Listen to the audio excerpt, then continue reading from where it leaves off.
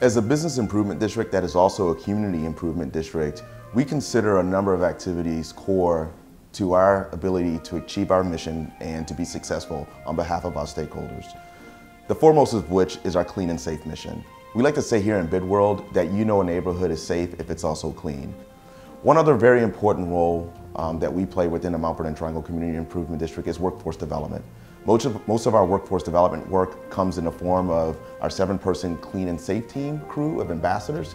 These individuals come to us from Central Union Mission uh, through a contract and are paid for through DSLBD to help provide some of the cleanup and other um, community safety activities that really help promote a clean, safe, and welcoming environment to individuals so that folks know that they can be safe and supported in our community. I'm Charles Allen, the Ward 6 Council member, and proud to represent the Mount Vernon Triangle neighborhood. The clean teams are so important because they are the ambassadors throughout our community. But the, the men who serve in our clean team, uh, they do more than just help keep our communities safe and clean. Uh, they really are ambassadors for the best in our neighborhood and, um, and are somebody that, that our neighbors interact with every single day.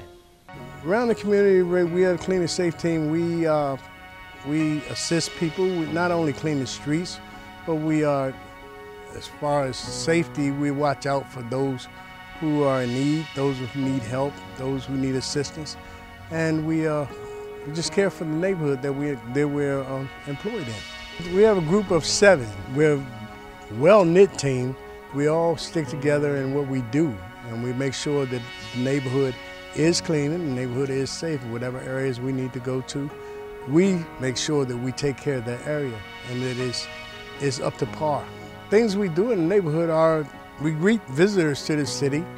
We uh, assist those who are in need of emergency help. We we uh, do storefronts in the wintertime. We do. We worked in the blizzard for the whole time the blizzard was going on. We were out there and we were cleaning those streets, those streets, sidewalks, uh, the storefronts, the buildings, everything that we could could clean. We cleaned, and we always kept it, you know, clean and safe you know, for those who are in the neighborhood. These individuals to whom we provide um, workforce development opportunities, uh, we really want to help them better their lives. Previous life, I was a, uh, I was a medical supply technician before um, coming to Central Union Mission. I was homeless for a minute, and I'm, I am a former Marine. You know, first of all, I went through an 18-month program at Central Union Mission to get myself back together, you know, get my life back on track.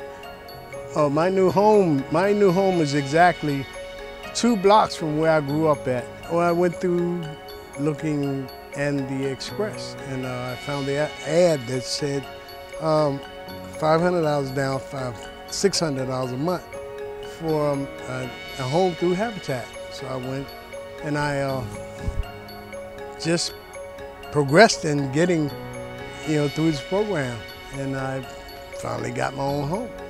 Mount Vernon Triangle has helped me in a good way. I mean, my boss, my boss, Mr. Leon Johnson, uh, my president, uh, Mr. Kenyatta Robinson, they've all been instrumental in helping me get to this point of owning my own home and, and actually a part of me being a better person. So we couldn't do our work here within the Mount Vernon Triangle Community Improvement District without the tremendous help and support from some of our community partners. Without them, um, we would not be able to have as many clean team members um, in our crew who really help provide the fundamental baseline work that's necessary in order to create the condition and the environment that makes Mount Vernon Triangle an attractive community to be.